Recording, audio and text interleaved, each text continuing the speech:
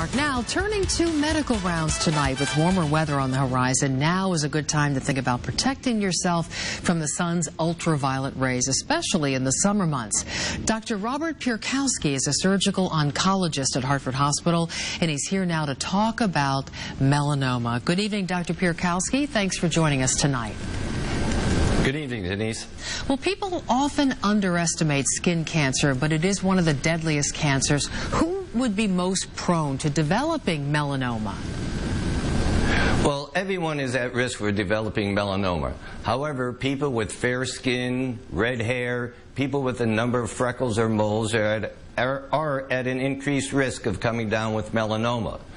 People who have had sunburns in the past that caused them to blister and peel are at an extremely high risk of developing melanoma in their lifetime.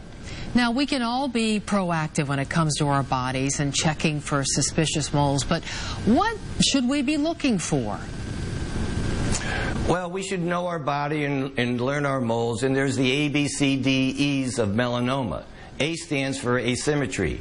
In other words, if you divide a mole in half and it's not equal on both halves, that's a worrisome lesion. B stands for border. Melanomas have an irregular border. C stands for color. Melanomas do not have a uniform color. They often have different shades of darks, browns, and, and even reds in them. Hmm. D stands for diameter. Most melanomas are at least 6 millimeters in size. However, we've all seen melanomas that are less than 6 millimeters. E, which is very important, is evolution.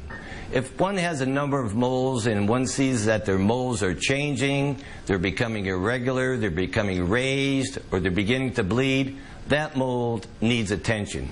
And we have to really examine, have our spouse or, or someone look at our backs because this is an area that we ourselves can't see, and that area has a high incidence of melanomas. Good point. Great information, Doctor. We appreciate it. I have a few seconds left, and I have to ask you uh, for some tips on choosing a sunscreen. How do we go about doing that for best protection? Well, one should have a sunscreen of at least 30 SPF. It should be broad spectrum to cover both the UVAs and the UVB ultraviolet light. And it should be uh, also applied correctly. And one must remember that if we pick up a melanoma early, the cure rate approaches 100%. Well, that's good. I love to end on a positive, and I thank you so much, Dr. Piorkowski, for sharing your insight with us tonight.